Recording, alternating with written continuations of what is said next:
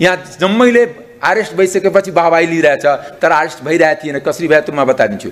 विराज पाण्डेले बिस हजार दिएको थियो डम्बर खत्रीले पन्ध्र हजार पन्ध्र लाख पचास हजार दिएको थियो यज्ञ ओलीले बिस लाख दिएको थियो। जुन बिचौलियाहरूको अफिस यिनीहरूमा छ तपाईँले जुन मेजर बिचौलियाहरू जति चिन्छ म त चिन्छु दस बिसजना बिचौलिया नाम चाहिँ। तर पर्टी पर्सनली नाम लिन गाह्रो छ।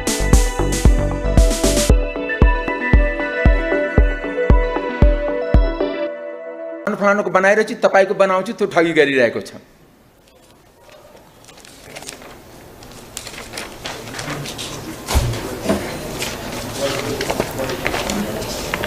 यो ग्लोबल आइमीको चेक हो नब्बे लाखको उसले चार करोड दिँदाखेरि प्रेसर दिएपछि नब्बे लाख फिर्ता गर्यो तर त्यो चेक बााउन्स भएछ। त्यो चेक यहीँ छ।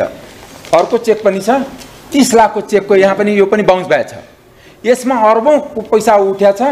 र यहाँ मैले एउटा केस स्टडीको लागि छु कि कसले कति पैसा दिएछ। रामकुमार रेग्मीको ग्रुपले एक करोड दुई लाख पचास हजार रुपियाँ दिएको थियो। विराज पाण्डेले बिस हजार दिएको थियो डम्बर खत्रीले पन्ध्र हजार पन्ध्र लाख पचास हजार दिएको थियो यज्ञ ओलीले बिस लाख दिएको थियो समीर लामछानेले पन्ध्र लाख दिएको थियो गौतम गिरीले बिस लाख दिएको थियो सुजल केसीले पच्चिस लाख दिएको थियो चन्द्र बहादुर खड्का बिस लाख दिएको थियो यस्तै मैले यहाँ लिस्टै छ। यो यो मेरो डकुमेन्ट होइन। यो प्रहरीमा अपराध अनुसन्धानमा दिएको जाहेरीको कपी म यहाँ लिएर आएको छु।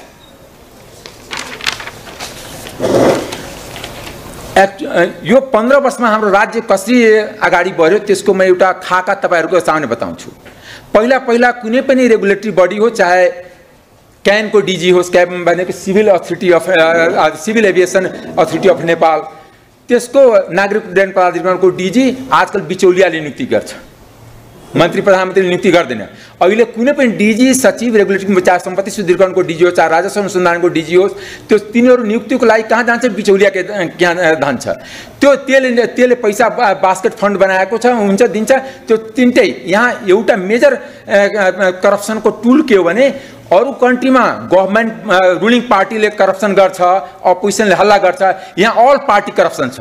अल पार्टीमा अल पार्टी कन्सेन्सस करप्सन छ। This is the new terminology in Nepal only र दोस्रो कुरा के छ भने यहाँ करप्सनको विभिन्न रूप छ जुन केही रूप उहाँले भन्नुभएछ हाम्रो पूर्व वक्ता मानिए डक्टर स्वर्णी बाग्लेले म त्यसमा केही थप दिन चाहन्छु त्यसमा केही एडिसन गर्न चाहन्छु। उहाँ सेयर मात्रै कुरा भन्नुभएछ मैले देखेको बुझेको एक हजार व्यक्तिको पैसा दुबईमा क्यापिटल फ्लाइटको थ्रु गएछ सैकड़ों मान्छेको घर छ उसँग गोल्डन भिसा छ यहाँ ठुला घराना छ त्यसमा पोलिटिसियन हाइली ब्युरोक्रेट्स र बिजनेसम्यानको पैसा छ। पन्ध्र बिसजना ब्रोकरलाई समातेर कारवाही गर्यो भने नेपालको इनेक्सस टुट्छ उसले समातेर कि इन्ट्रोगेट गर्यो भने तिमी कुन कुन नेतालाई कति पैसा दिएछ कुन कुन नियुक्तिमा कति गएर छ। त्यस कारणले हरेक नियुक्ति आजको दिनमा उसको टेन्डर छ त्यसको कस्ट छ। कसले टेन्डर बिट गर्छ। ठुला ठुला कुरा म तपाईँलाई बताउँदैछु। अ, चाहे एनटिएको नेपाल टेलिकम अथोरिटीको होस् र यस्ता भ्रष्टाचारको जुन पेमेन्ट छ नेपालमा हुँदैन। त्यो बाहिर उसको ट्रान्जेक्सन हुन्छ। त्यस कारण नेपालको ब्याङ्किङ सिस्टम त्यसबाट छैन। त्यस कारणले दुई थरीको करप्सन छ। एउटा करप्सन छ इभेन्ट बेसिस एउटा करप्सन छ policy basis. Policy corruption. Policy corruption डरलाग्दो छ। पोलि जस्ट लास्ट इयर तपाईँले सिसी मैले बारम्बार भने पनि पार्लिमेन्टमा पनि भने कारण यहाँ पनि भन्छु लास्ट टाइममै बिचौलियाले बजेट बनायो अर्थमन्त्रीले पढिदियो र सर्वदलीय संसदीय समितिले त्यो चुखाइ चोखाइदियो किन? कि सर्वदलीय भ्रष्टाचार थियो। कि सिसिटिभीमा केही राम्रोसित देखिएन। त्यो चोखै चोख्याइएको हो। मैले संसदमा पनि भनेको थिएँ त्यो समितिको संयोजक थियो हाम्रो लक्ष्मणलाल कर्ण त्यही पाप लागेर उहाँको जमानत जब्त भएको हो। जनताले तय गर्छ नि। मैले तपाईँहरूसँग के विनम्रता साथ अनुरोध गर्छु कि आजको दिनमा सोसल मिडियाको लाख डिमेरिटको बाद पछि पनि एउटा पावरफुल टुल छ। आजको दिनमा पावरफुल इफेक्टिभ टुल छ। सोसल मिडियाले नै यो करप्सनलाई कारवाही गराउन अगाडि बढिरहेछ। अस्तिको दिन भन्दैछु यहाँ जम्मैले अरेस्ट भइसकेपछि वाहवाही लिइरहेछ तर अरेस्ट भइरहेको थिएन। कसरी भयो त म बताइदिन्छु। तिन बजे रा यहीँ अनि पुलिसको higher officer retired Devendra Subedi हुन्छ is one of the competent officer and honest officer थियो। तिन बजे राति पुलिस गएको थियो किनकि टो बहादुर राय माझी भागेको कारणले पुलिसको मुख पोल्या थियो। कि यो पनि भाग छ।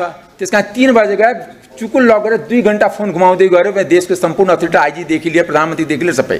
लास्टमा एउटा डिपिएमको फोन उठ्यो र दौडेर गयो डिपिएम कहाँ गयो पिएम यहाँ? कि तुरन्त फेरि पुलिस फिर्ता गर्नुहोस् गृहमन्त्रीलाई आदेश दिएर विड्र गर्नुहोस् न त यो टुट्छ र सरकार जान्छ पाखुरा सुर्किँदै गयो। कि यस्तो भएन भने हामी मान्दैन पुरा पार्टी हाम्रो विरुद्धमा जान्छ। त्यो भन्दै लास्टमा पिएम कम्पेल भएर फोन पनि गऱ्यो होम मिनिस्टरलाई। तबसम्म पुलिसले के गरेको थियो? ढोका तोडेर अरेस्ट गरेर लगिसकेको थियो। त्यसपछि होम मिनिस्टरको रिप्लाई आयो कि त्यो त टेकु पुगिसकेको छ।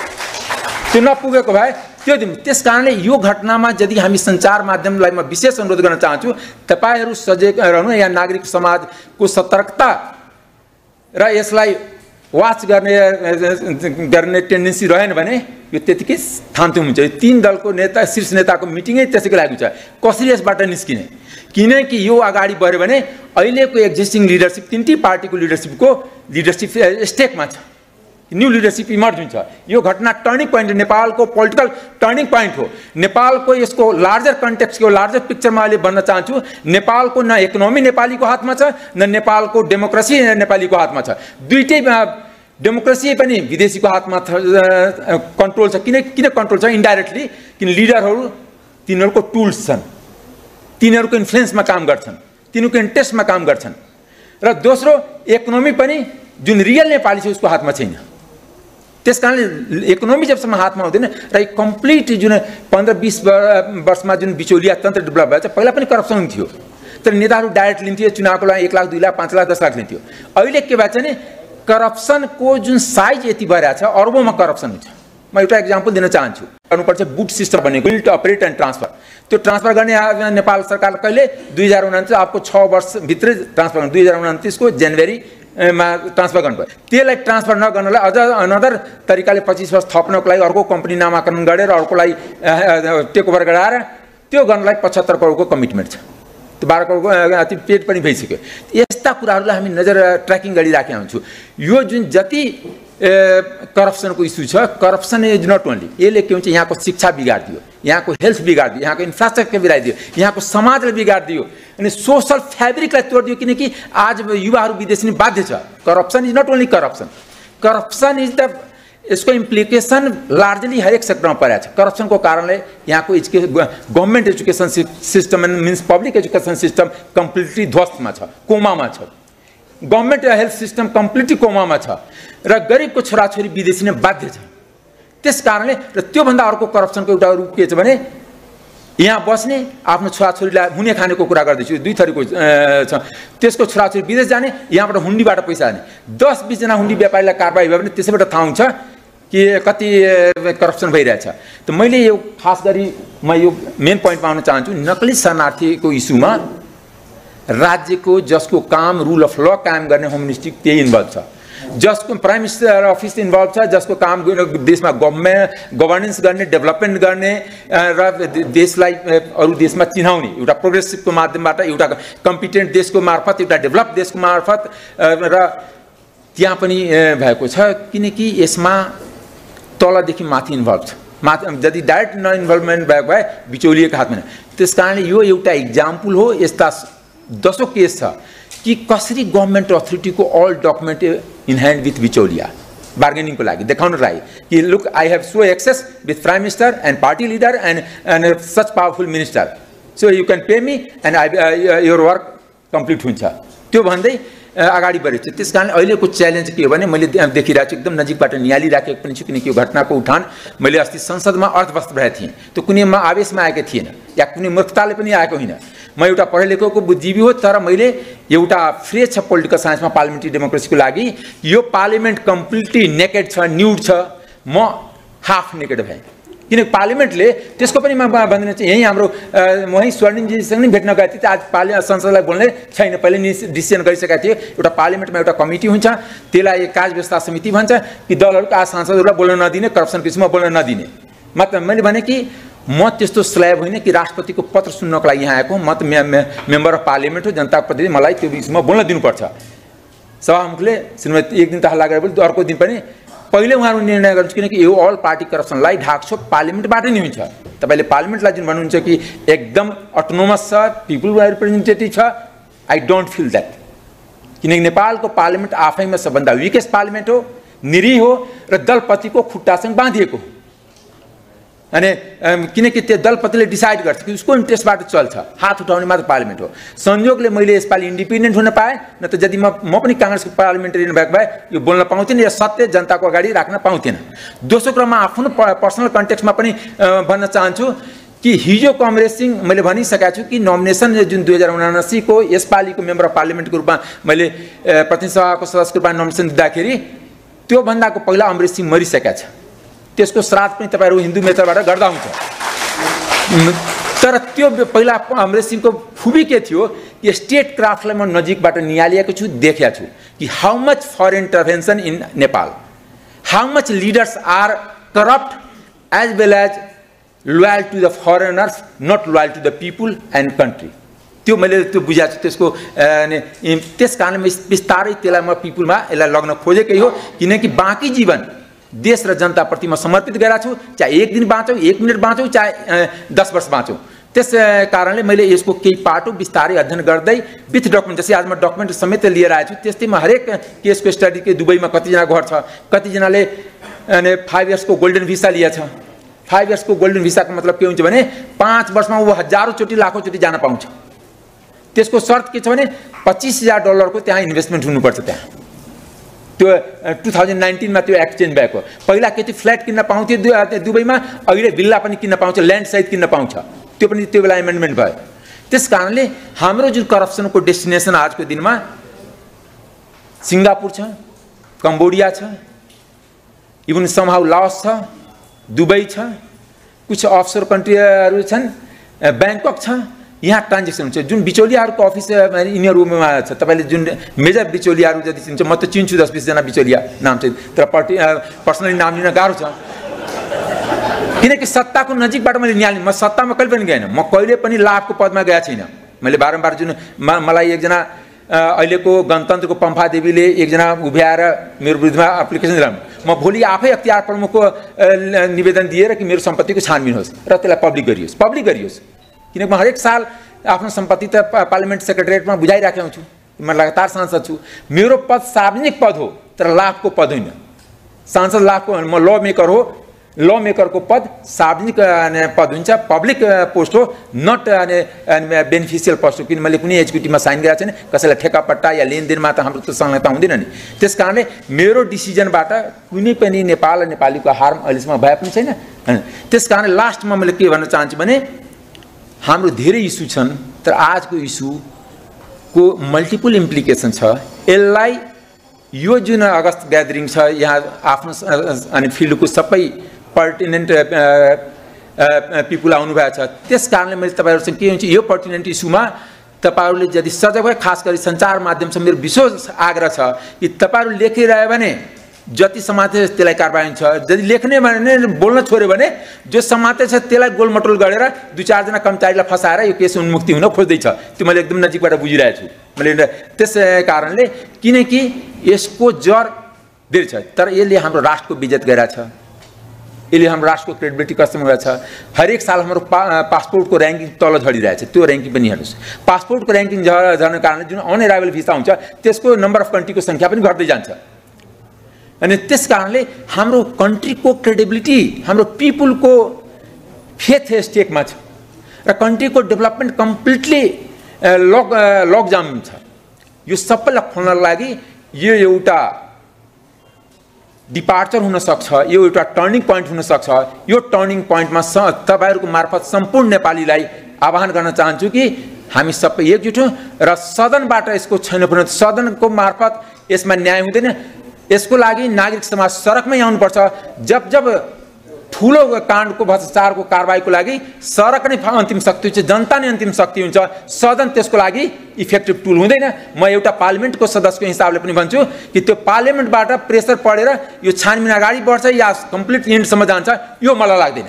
This is the very factual things अनि त्यस किनकि तिन पार्टी त बोल्दै बोल्दैन। बोल्ने भने त्यसलाई रोक हुन्छ। अस्ति सुनिल शर्मालाई बोल्यो चिफ भोलिपल्ट रमेश लेखकले त्यसलाई थ्रेड गरेको तिमी किन बोल्यो बाहिर गएर। म तपाईँलाई बताउँछु। तपाईँ सुनिल शर्मालाई इन्टरभ्यू लिएर सोद्धा पनि हुन्छ।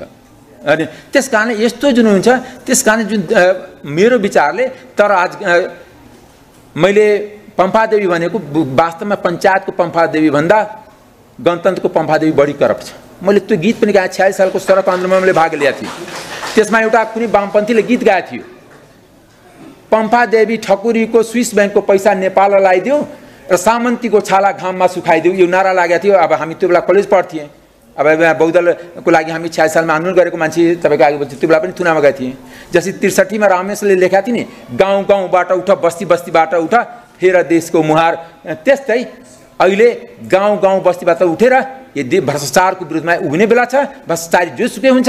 त्यसलाई कारवाहीको दायरामा लाउनुपर्छ। भ्रष्टाचारी न लिङ्ग हुन्छ न जात हुन्छ न धर्म हुन्छ न उसको कुनै पार्टी हुन्छ। यदि कुनै धा समुदायको नाउँमा लिङ्गको नाउँमा जातको नाउँमा धर्मको नाउँमा पार्टीको नाउँमा बचाउन खोजिन्छ भने नेपाल र नेपालीको अस्तित्व रहँदैन। यति भन्दा म दुई शब्द अन्त गर्छु। धन्यवाद। जय राष्ट्र। तपाईँ बस्नु अगाडि माइकमा रहँदै गर्दाखेरि तपाईँले म जस्ताले भन्दै गरेको थियो कि बल्ल बल्ल ठुलो माछा समातिएछ भनेको भन्दा तपाईँले सुरुमै भन्नुभयो कि सानो माछा मात्र समातिएको छ। त्यसैले अलिक प्रश्न दिनुहोस् सानो माछा गृहमन्त्री भएको मान्छे समातिएको छ। योभन्दा अगाडि समातियो होला नि तर यस्तो जर्जर विषयमा तत्कालै समातिएको छ। त्यो उसलाई सानो माछा नभनी।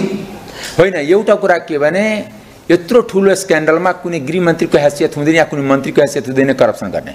यो पोलिसीगत करप्सन हो र ठुला स्केलको करप्सन हो। त्यसमा प्राइम मिनिस्टर र क्याबिनेटको डिसिजनहरू मैले तपाईँलाई देखाइरहेको छु। अहिले कि मुख्य सचिव त्यो बेला मुख्य सचिव मुख्य सचिवको सिग्नेचर पनि मैले देखाइरहेको छु। त्यो एक अर्को कन्फिडेन्समा गरिएको निर्णय त्यस कारणले यसको पुरै तारतम्य समात्नुपर्छ जसरी अहिलेकै गृहमन्त्रीको नजिकको मान्छेहरूलाई समात्यो भने त्योभन्दा झन् त्यो बाहिर जान्छ।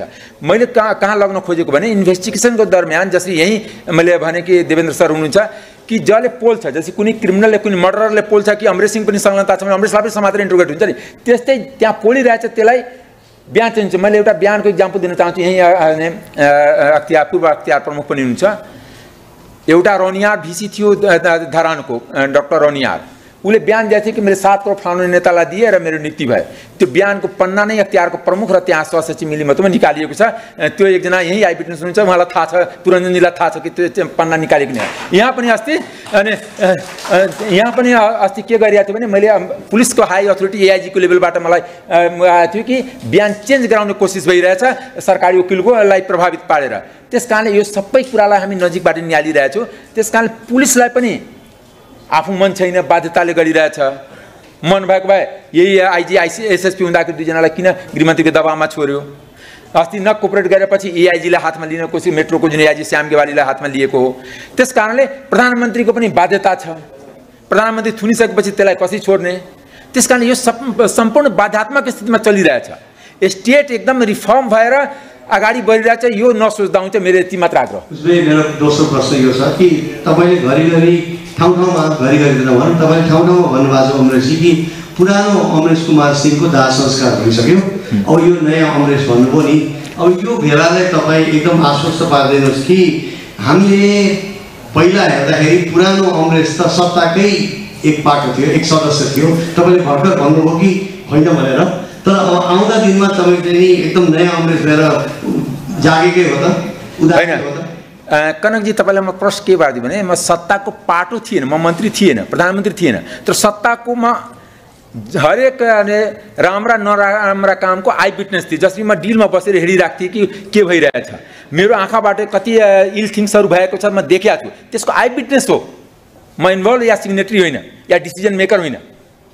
न म पार्टी प्रेसिडेन्ट भएको छु न प्राइम मिनिस्टर भएको छु न इभन मिनिस्टर पनि भएको छु this is the fourth time in the parliament त्यस कारणले म एक्जिक्युटिभ थिएन तर I am close I witness of the every करप्सनको big करप्सनहरूको इभन जुन मेजर इल थिङ्स भएको छ जुन पन्ध्र वर्षमा यो बिचौलिया तन्त्रको म एकदम नजिकबाट निहालेको पनि छु अध्ययन गरेँ as a student as a researcher किन मैले पिएचडी खालि आइआरमा गरेँ होइन यहाँको करप्सनमा म पिएचडी गर्न चाहन्छु। जुन दिन करप्सनको सबै फाइल हन्ड्रेड फाइल्स यहाँ लाउँछु त्यो दिन मेरो पिएचडीको डिग्री सफिसियन्ट छ। Thank you